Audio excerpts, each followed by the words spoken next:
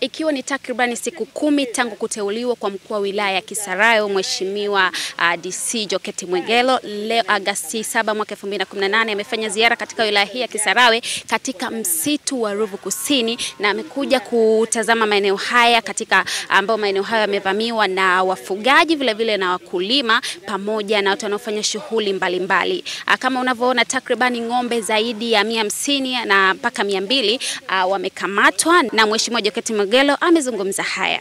Msitu um, wa Ruvu Kusini ambayo inajumuisha wilaya mbili, wilaya ya Kibaha na ya Kisarawe, lakini kwa kiasi kikubwa unapatikana katika wilaya ya Kisarawe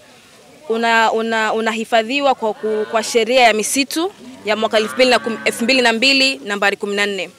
ambayo inasema haitakiwi kukuwa na shughuli zozote za kijamii na kiuchumi kufanyika katika hifadhi hii. Leo hii tumeingia msituni, tumeanzia tumeanza tumeanza na hiyo operesheni ya kuondoa mifugo, ya kuondoa makazi na activities zote zile ambazo ni za kijamii na kiuchumi ili kulinda na kuhifadhi msitu huu wa Ruvu Kusini. Lakini pamoja na hayo, natoa rai kwa wananchi wote wanaotusikiza hivi sasa, hatutavumilia mwananchi yoyote yule ambaye atafanya shughuli za kijamii, aidha kuweka makazi katika eneo hili kuchoma, kuchoma misitu kwa ajili ya kupata mkaa, kuweka mifugo, kulima, kwa sababu hili ni eneo la hifadhi na hifadhi na sheria zake ambayo inaulinda ina, ina lakini vile vile nitoe tu rai kwa wafugaji ambao wana, wanaingia katika vijiji vya hapa vya, vya eneo hili la Kisarawe. Tuna vijiji takriban 66 na vijiji angalau 24 ndio vinaruhusiwa kufanya shughuli za ufugaji.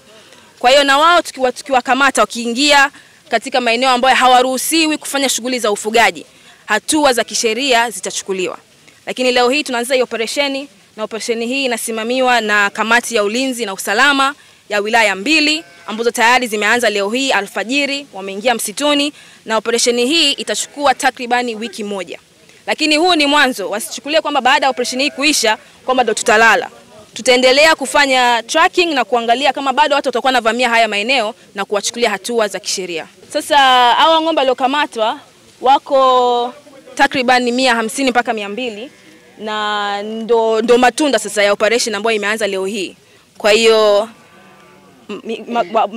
wagambo na askari wetu na kamati nzima ndo wameanza kufanya hii kazi, na matokeo ya hiyo kazi ni kama mnavyoona hapo nyuma, na hawa, hawa ng'ombe wataenda kuhifadhiwa sehemu ili ambao ndo wanahusika watachukuliwa hatua za kisheria, ni pamoja na kulipa fine na hatua zingine ambazo zinaeleweka.